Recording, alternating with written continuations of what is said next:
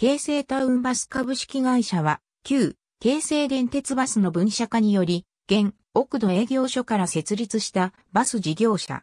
京成電鉄の子会社、及び京成グループ企業。2001年2月に運行を開始した。主に東京都葛飾区を中心に2021年2月現在15路線を運行している。会社そのものの設立は2000年であるが、京成時代の奥戸営業所も含めて考えると、都内で最も古い営業所ということもできる。分社化以前は観光業務や支援業務の一部も担当していた。分社化の理由は、他のバス事業者と同じく賃金体系の見直しを行い、奥戸が最初に選ばれたのは、同営業所周囲の路線の縮小化が関係すると言えるだろう。なお、本社営業所は旧奥戸第二車庫に設置され、これと同時に車庫前にタウンバス車庫停留所が新設された。その後、2001年8月1日には金町営業所から新宿線及び堀切線の2路線を引き継いでいる。2018年9月11日に一般貸切旅客自動車運送事業の許可を受け、11月22日より営業を開始した。2020年5月12日より順次、車両のナンバープレートのご当地ナンバー化を開始し、翌13日より、葛飾ナンバーでの運行を開始した。新小岩駅を発車して平和橋通りをまっすぐ北上して、綾瀬駅まで行く系統である。主に大型車で運行される。新小岩駅を出ると総武線のガードをくぐり、蔵前橋通りを交差するが、ここの辰巳橋交差点が非常に混むことがある。さらに、渋江公園付近で、京成押上線の踏切付近は慢性的に混んでいる。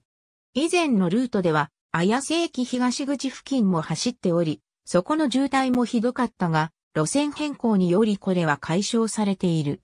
一方で、2013年11月下旬に、新小岩駅、南口入口交差点にあった歩道橋が撤去され、その代わりに歩行者信号が設置された。これにより、車道側の青信号の検示時間が短縮されたせいか、南口ロータリーへの出入りで渋滞が起きるようになった。開通当時は、北千住駅まで運行していた。最初は小須賀停留所からすぐに採業し、小菅一丁目、高知省を通るルートだったが、平和橋通りが小菅停留所から今の綾瀬駅東口付近まで延長開通するとすぐに綾瀬駅経由となり、同駅までの利用者が多くなった。全国バス路線便欄によると、新小岩駅北千住駅便と新小岩駅、堀切車庫便がほぼ同数となっており、この時期は南側の利用者の方が圧倒的に多かったようである。1973年頃に北千住駅への運行を取りやめ、ほとんどの便を綾瀬駅止まりとし、わずかな便を小菅一丁目まで運行するように変更した。ちなみに、千代田線が北千住綾瀬間を開通し、常磐線と相互乗り入れを開始したのは1971年4月20日である。北千住駅付近のルートを廃止したのは、千住新橋の掛け替えにより、小菅川と橋の連絡が困難となったからだとのことで、ある。しかし、小菅一丁目止まりとなったことで、定期的な利用者はほとんどいなくなってしまい、綾瀬駅東口、綾瀬二丁目を通るより、綾瀬一丁目を通る方が利便性が高いということから、現在のようなルートとなったというところだろう。なお、小菅一丁目付近はバスがなくなってしまったため、後に、日立自動車交通が綾瀬駅を奇襲点とする循環乗り合いタクシーを走らせている。綾瀬駅東口を経由していた頃は、混雑対策用のルートもあった。なお、タウンバス車庫発着便は出入庫便である。このバスは新小岩駅東北広場へは向かわないので、注意が必要である。4津木線は新小岩駅と市川駅を4津木駅経由で結ぶ路線である。なお、江戸川駅通り市川駅間にて、市川市を走行するため、東京都シルバーパス並びに、特内1日乗車券の適用範囲からは、外れている。また、市川広小路市川駅の区間は、料金が160円となっているので、その区間を利用する場合は、乗車時に自己申告の上運賃を支払う形となる。歴史的には、上野広小路市川駅を運行していた、上野線と新小岩駅四つ木駅、亀有駅間を運行していた全、亀有線が1996年の抜本的路線改変により、それぞれ短縮された上で結合したものである。新小岩駅亀有駅を直通する機能は、同時期にできた現、亀有線にその役目を譲ったが、四つ木駅周辺の乗客への迷惑を回避することを目的として、前、新章52と同一ルートでの運行も継続し、これには新章52オツという系統番号が割り当てられた。2009年4月16日にダイヤ改正が行われた際に、区役所付近で以下のようなルート変更が行われた。これにより、立尺7丁目葛飾区役所の間で距離短縮が図られた。ルートのうち、西新小岩、四つ木駅付近は、住宅の密集度に比べて道路が狭い。それでも利用者が多く、大型車のみによる運行が長く続いていた。しかし、渋江公園付近の京成押上線の踏切により、定時運行が阻害されるなどの問題もあり、近年の全体的なバス利用度の低下もあって、四つ木線として運行してからは、かなり劣勢気味である。また2011年3月28日より、新小岩駅東北広場の共用開始により、走行ルートが変更された。また、毎年8月に行われる江戸川区花火大会に伴い、渋江公園、タウンバス車庫市川駅間が増発運行される。小松川線小松川線は、小岩駅と小松川警察署を江戸川区役所前経由で結ぶ路線である。かつては、都営と共同で小松川警察署から先錦糸町駅を経て、中央区の箱崎町まで、さらにたどれば、新橋駅まで運転していた。1996年に荒川伊勢への乗り入れを取りやめ、現在の小松川警察署まで短縮された。そのため、本線の全区間が都営バスの西27系統と重複する。本線の全区間が都営と交互に発車するダイヤが組まれている。ただし、都営側は京成よりも京葉道路を長く走行するため遅れて順序が逆になる場合が多い。小岩地区から江戸川区役所へのアクセス路線としても機能する。現在も運行している錦27系統、錦27から2系統に関しては、都営バス、江戸川営業所近27系統の項を参照のこと。大杉線は、新小岩駅付近の除くルートの多くが環七を経由する路線であり、一ノ江駅まで至る。中間部の大部分は独自区間となっている。しかし、この線の運行便数は当初からあまり多くなかったことや、他線の使用で間に合う部分が多かったことから、成長するに至らず、便数は徐々に減少している。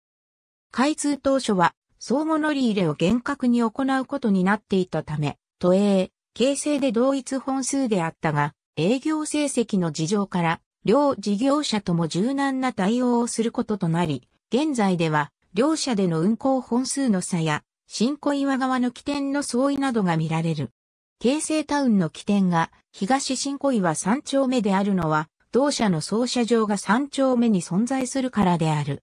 都営バス臨海支所、新、小20系統の項も参照のこと。お花茶屋線は1996年の路線再編の際に当時の奥戸線、本田線の2線を廃止することとし、この中間部を通るように新たに設けられた路線である。運行頻度は平日30分間隔と休日20分間隔である。環状7号線の奥戸亀有駅間は開通後しばらくの間路線バスが走っていなかった。この付近は南北に走るバスが他になかったので、葛飾区が路線新設の要望を出していた。そこで、1996年9月に先行して実施された葛飾区内の京成バスの路線再編成に少し遅れて、この環7線が11月1日より新設された。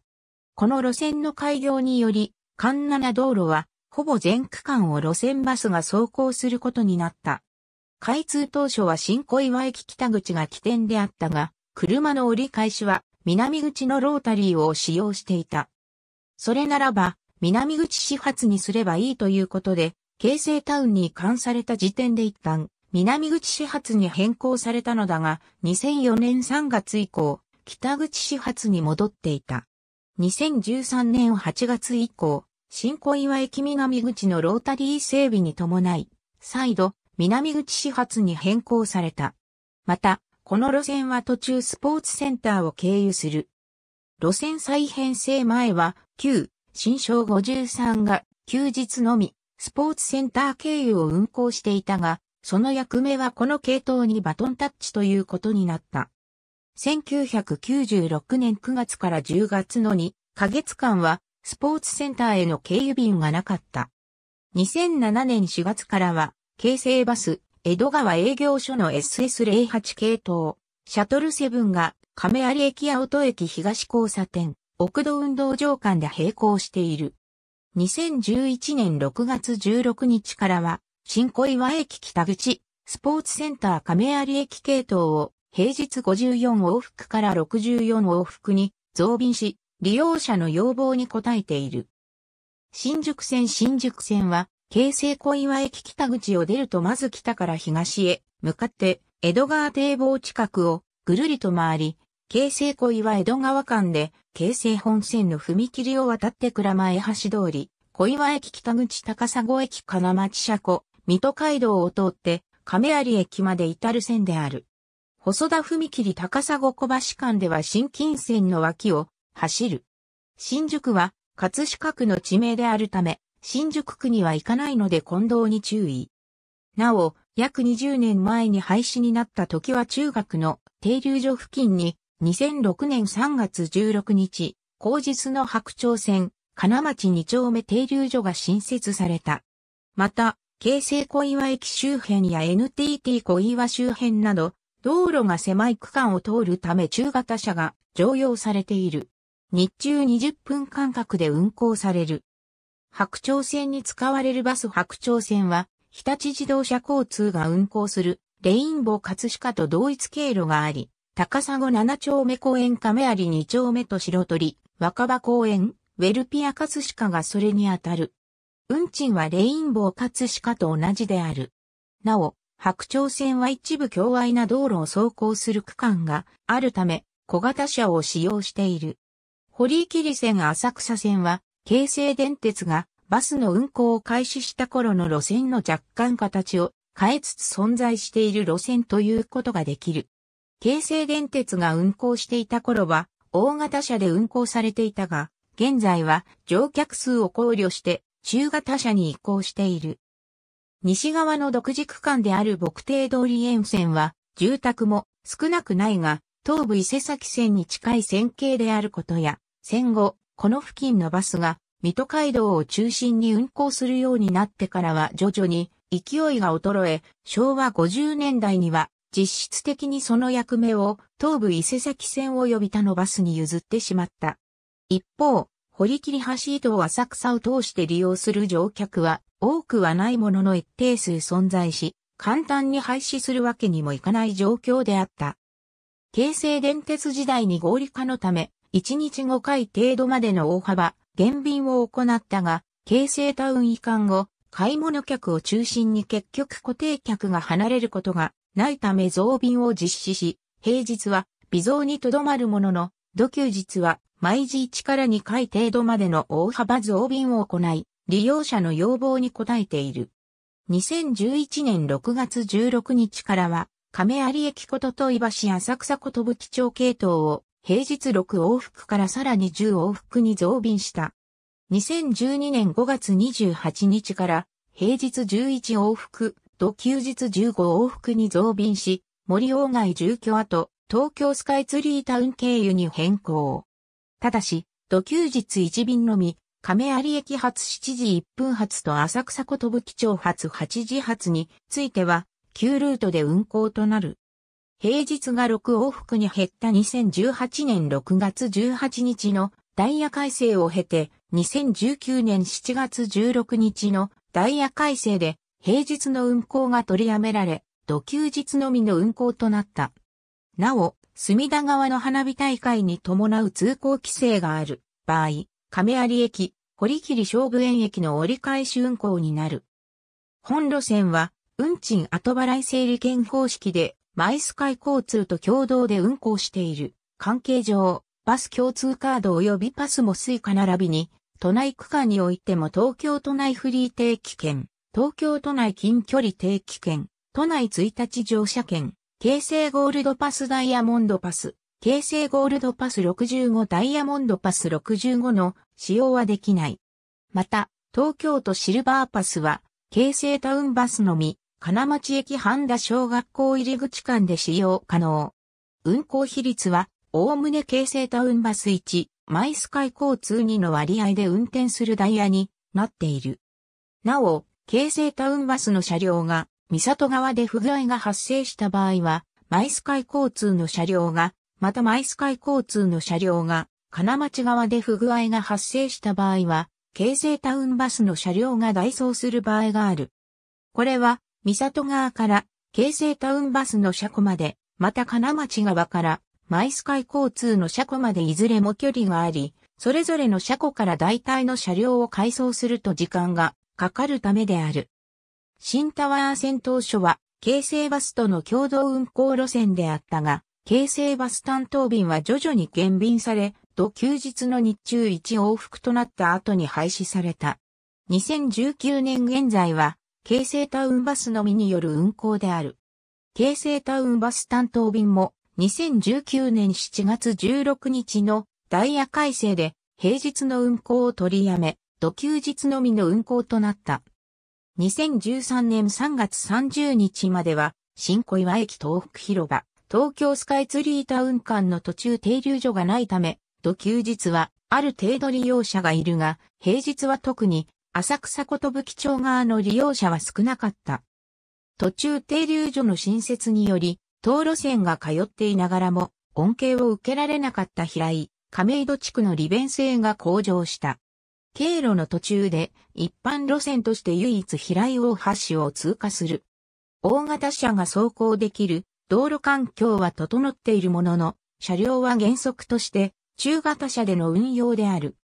開業当初、浅草ことぶき町、浅草雷門を発着するバスとしての運行本数は堀切線より多かったが、減便が続き、京成タウンバスの中でもとりわけ運行本数の少ない路線となった。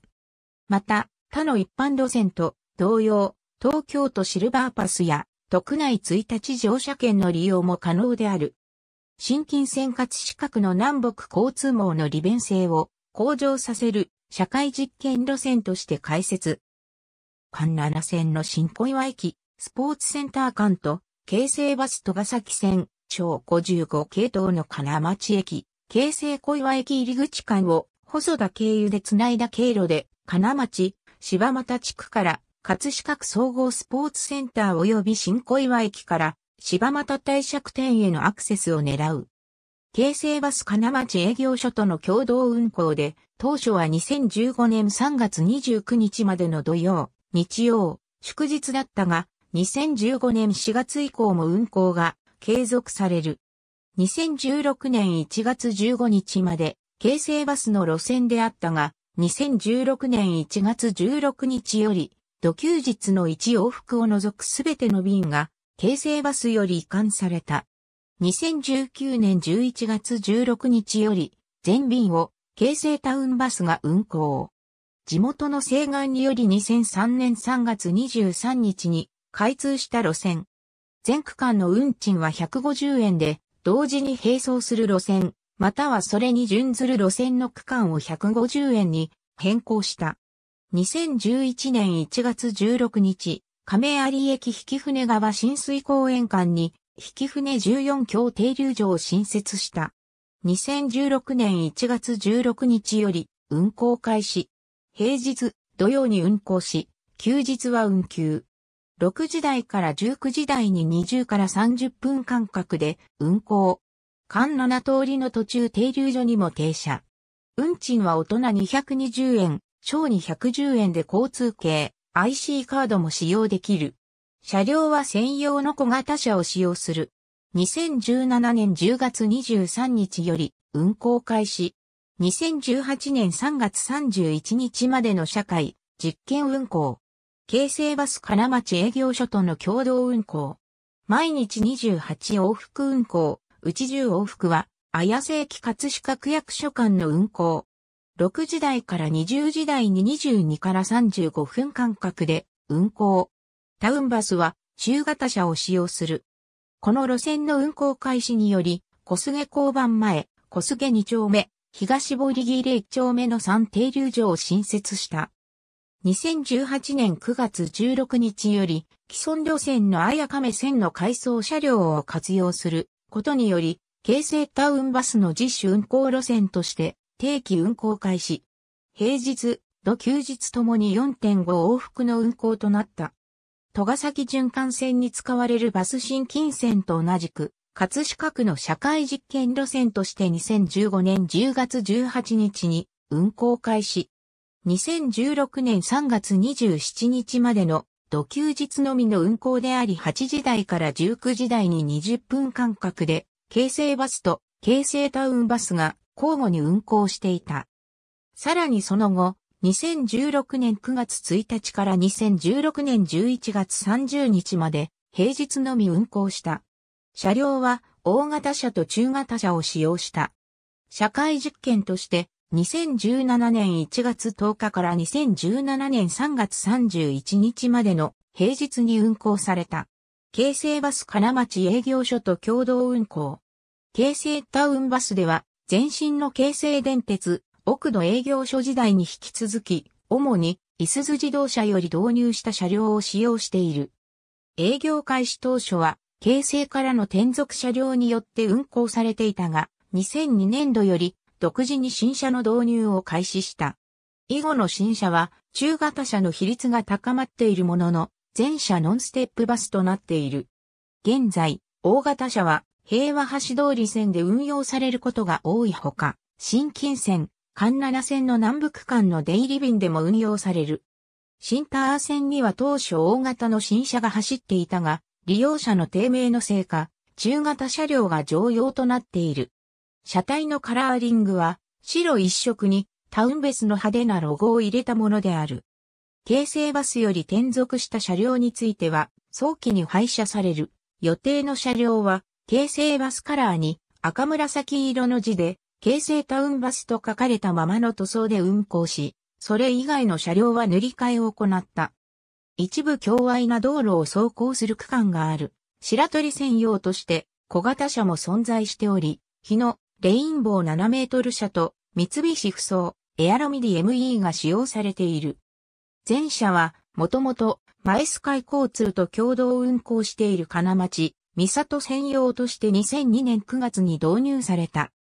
これは導入時に、イスズ自動車がこのサイズの車両の製造を行っていなかったためで、カラーリングも T203 を除き一般車と異なる色だったが、2005年12月から2006年2月にかけて一般塗装に塗り替えられた。後者は白取り専用として2006年に導入した。三里線は検査等を除き、原則として整理券、取り付け済みの中型車で運行している。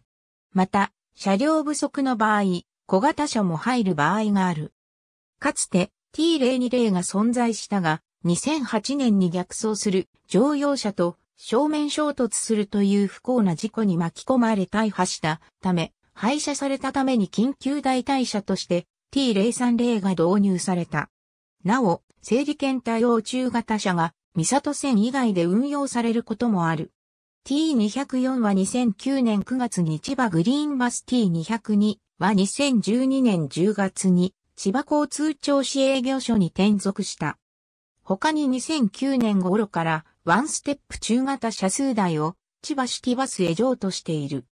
T023 は2011年6月1日より堀切線にて亀有が舞台の漫画、こちら、葛飾区亀有公園前派出所のラッピングバスが運行されている。T045 は2014年6月12日午後より、葛飾区による 2014FIFA ワールドカップの応援ムードを盛り上げるため、葛飾区四つ木地区に翼像の設立を記念し、タウンバスの車両にキャプテン翼のラッピングバスが運行されている。T054 号車から T075 号車は車両に携帯電話の充電用コンセントが設置されている。なお、T076 号車以降の車両には充電用コンセントは設置されていない。ありがとうございます。